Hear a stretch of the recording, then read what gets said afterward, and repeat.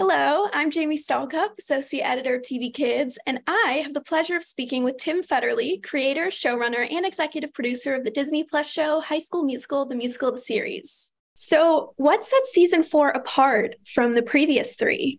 It's the finale. So, you know, it, it, it, a lot of the stories we've been teasing for a long time, we pay off this season. It's our biggest, most meta season. We've got OG Wildcats back. The premise is that Disney is shooting High School Musical 4 at East High while the real life kids are putting on High School Musical 3 as their senior musical. It's insane.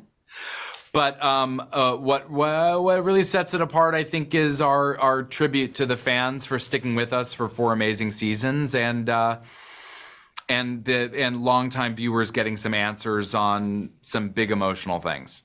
What drove the decision to drop all episodes at once for this last season? And do you hope that viewers binge it all back to back, or would you prefer they savor it and take it slow? I think the business person in me would love them to binge it because uh, that's the streaming reality. I think the creative in me would love to see people savor it. And uh, uh, w- what drove the decision? Some of that's programming that I'm not as involved in. But what's interesting because the series helped launch Disney Plus we started as a Wednesday night fall release. Then we became like a Friday night, I think, winter release. Then we were a Friday night summer release, or uh, or maybe it's reversed. It was Friday then Wednesdays. The point being, uh, the streaming era is a little bit the Wild West, and the series has has uh, uh, bounced around a little bit with how it's presented. And I think ultimately for a final season, I'm hoping people binge it do you have the ending of the show planned out from the beginning? And in general, how did your vision evolve over the course of the show? You know, I always knew the show would end thematically on the note of we're better together, we're all in this together, taking a bow as a group is more important than being a star.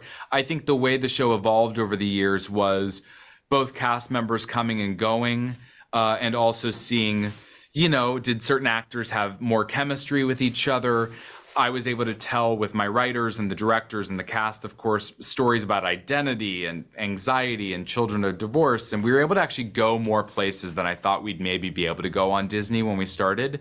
And, uh, and no regrets. Like, I'm very uh, grateful and proud of the stories we ended up really telling.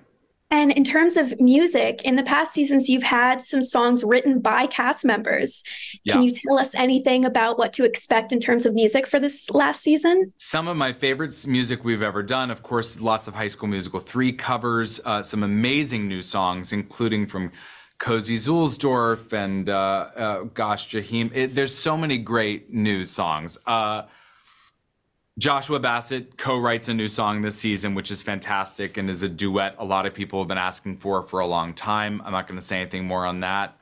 Uh, but I, I, always think our the music in the latest season is my favorite music, and I think this is now my favorite music. And there's some tear jerkers and some roof raisers and uh, some just really fun covers from the original movies. And what was it like to film back in Salt Lake City, considering last season was at a summer camp and outside? It was a homecoming. It really was. We love that crew so much. They've become a second family to us, people from out of town.